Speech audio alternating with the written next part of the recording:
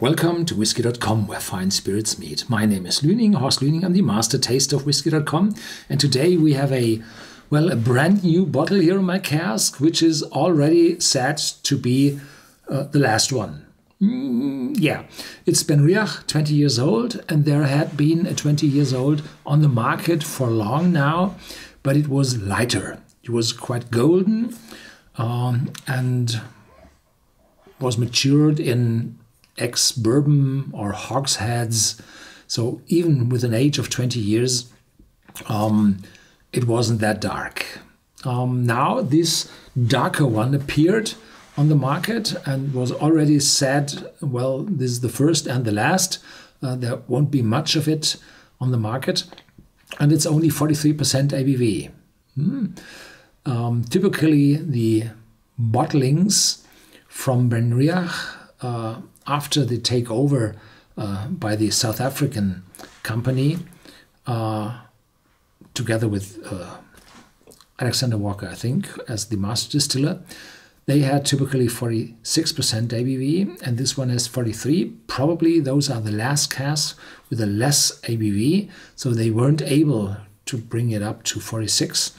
So they bottled it at 43. It's uncolored, so it's really a good uh, natural color in here. Uh, and it's officially not chill filtered, but I think it will be uh, roughly normal filtering in it. Um, but with the 43% ABV, typically you do not dilute it with water, so there will be no haziness. Uh, and uh, who is willing to drink this whiskey on ice? Mm, well, yeah, no idea to that.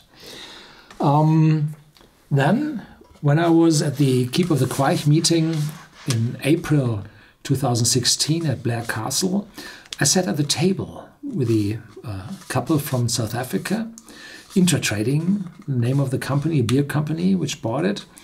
And I thought, why are they traveling from South Africa just for a Highland dinner to Blair Castle? And uh, well, a few days after, I heard they sold the Benriach distillery together with the other two distilleries, the Glendronach and the Glenglassaugh. They acquired together, they bought together in a company.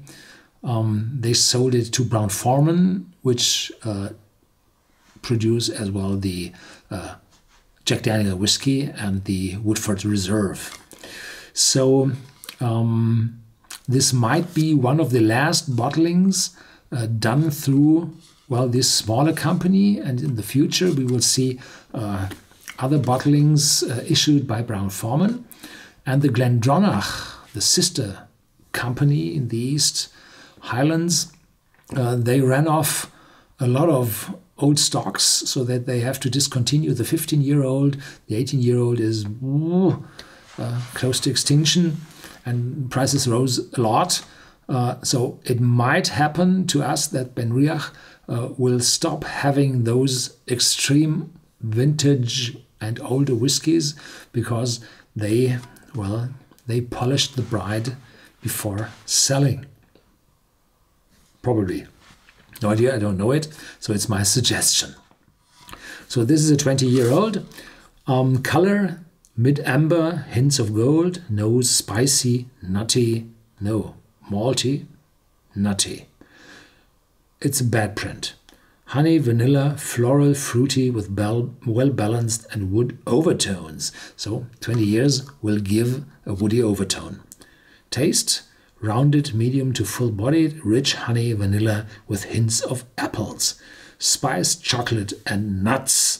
So this is a full matured single malt whiskey, probably at the top of its ripeness um, with a 43%. Uh, so you do not have to dilute it, and if it's strong enough, you won't uh, miss the 46, but I'm not sure. Um, yeah, have a try. Full, spicy, and floral the nuttiness already there, and uh, the nuttiness is typically from the sherry cask. If you have an empty, fresh drained sherry cask and you smell at the bunghole, then you have this nuttiness, extreme nuttiness, hazelnut, walnut, extreme nuttiness. And this shows there's a lot of sherry cask in it and a, already a honey note in it, which is said to be common to the BenRiach whiskies and dark fruitiness. So this is full, massive, and very, very complex and no alcohol at all. So it's only 43%. Ah, wonderful aroma.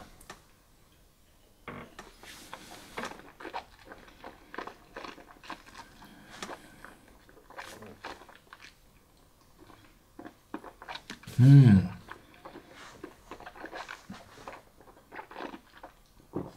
Full, silky, smooth.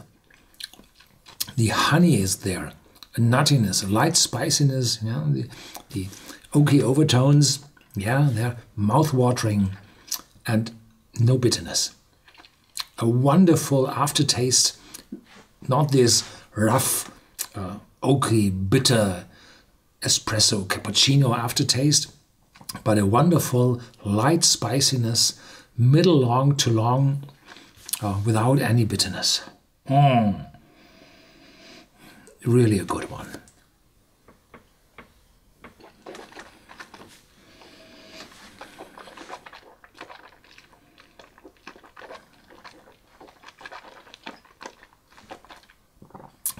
Priced, oh, mouth-watering. Mm. Priced uh, still below 100, but be aware uh, if people start to like this, it will rise in price sharply, definitely. And if there's in the next upcoming uh, five to ten years nothing to come after, yeah, that they really polished the bride. Yeah. Thank you for watching. Stay tuned. As always, there's more to come.